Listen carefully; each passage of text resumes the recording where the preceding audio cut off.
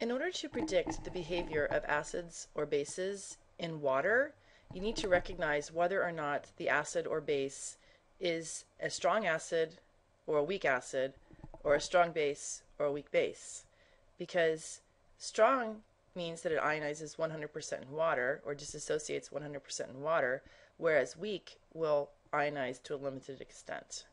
So the best thing to do, since the list of strong acids is way shorter than the list of weak acids, is just memorize the list of strong acids.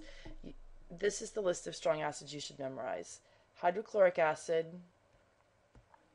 hydrobromic acid, hydroiodic acid.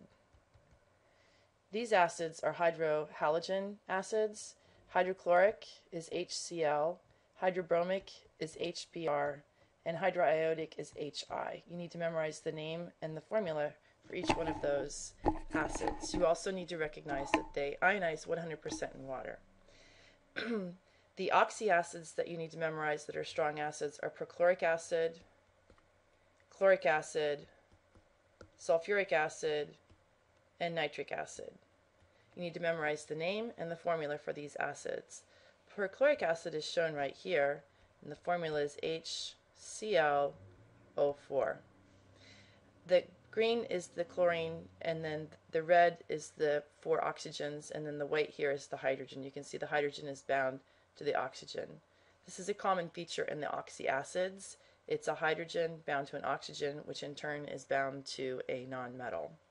Chloric acid um, is similar to perchloric acid, only it only has three oxygens. Sulfuric acid, here's the formula and a space filling model of, hydro of sulfuric acid.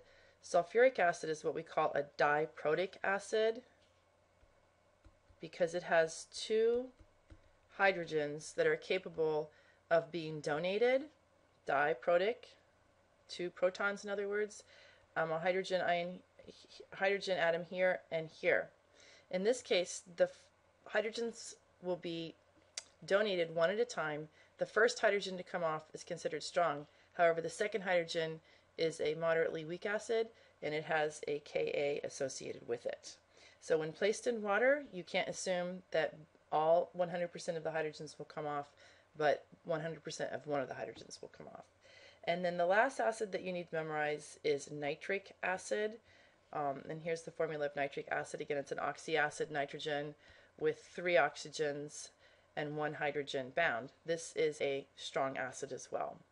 Now, nitrous acid and chlorous acid, which are similar acids to the um, form of the uh, chloric acid or the nitric acid, those acids are not strong acids. So all oxyacids are not strong. You just need to memorize this short list here.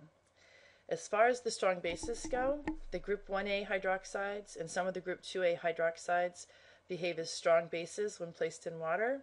And the group 1, lithium hydroxide, sodium hydroxide, potassium hydroxide, rubidium hydroxide, and cesium hydroxide. You can memorize those by, if you have a periodic table handy, which you always do, um, those are the group 1A metals.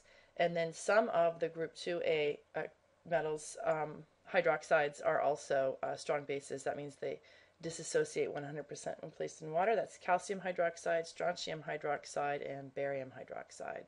Remember, when placed in water, um, this is an example of sodium hydroxide being placed in water.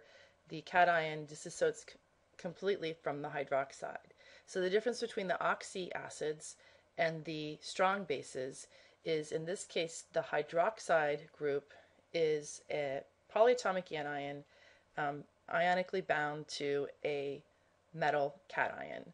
So these are the bases you need to memorize. The weak bases, of course, are um, largely derivatives of ammonia, and you just need to be able to recognize those.